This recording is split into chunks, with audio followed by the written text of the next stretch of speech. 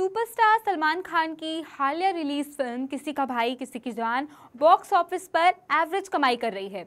इस फ़िल्म को लोगों से वैसा रिस्पांस नहीं मिला जैसे कि उम्मीद की जा रही थी। टाइगर वर्सेस पठान से पहले सलमान कम से कम दो फ़िल्मों में काम करेंगे। ये फ़िल्म कौन सी होगी, इसको लेकर बातचीत जारी है।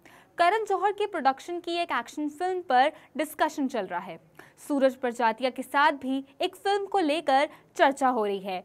मैत्री मूवी मेकर से भी सलमान को एक फ़िल्म ऑफ़र होने की बात की जा रही है।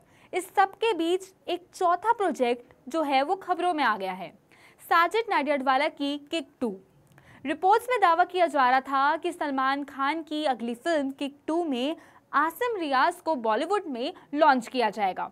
लेकिन साजिद नाडियाडवाला ने एक ऐसा ट्वीट कर दिया जिससे बहुत लोगों के दिल टूट सकते हैं। सूत्रों के हवाले से एक खबर छपी, जिसमें बताया गया कि किक टू में आसिम को एक अहम रोल ऑफ़र किया गया, जिसके बारे में जल्द ही घोषणा की जाएगी।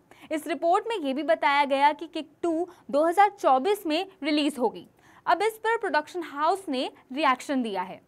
प्रोडक्शन कंपनी नाडियाडवाला ग्रैंडसन ने ऑफिशियल ट्विटर हैंडल पर ट्वीट किया और एक न्यूज़ शेयर की, जिसमें लिखा है कि आसिम रियाज किक टू का हिस्सा है।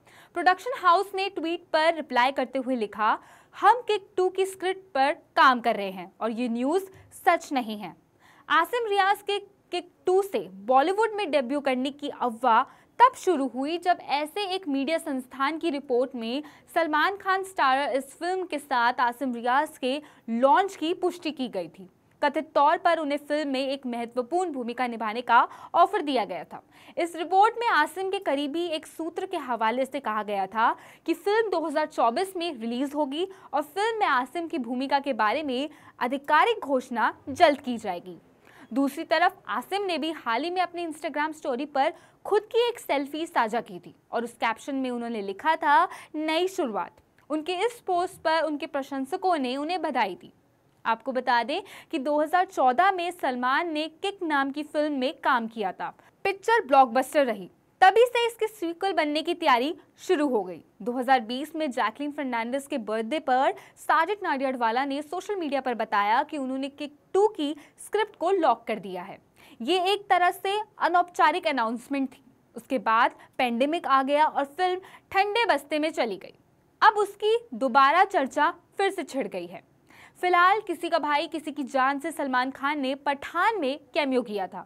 चर्चा है कि अब सलमान खान की टाइगर थ्री में शाहरुख खान भी कैमियो करते हुए दिखाई देंगे।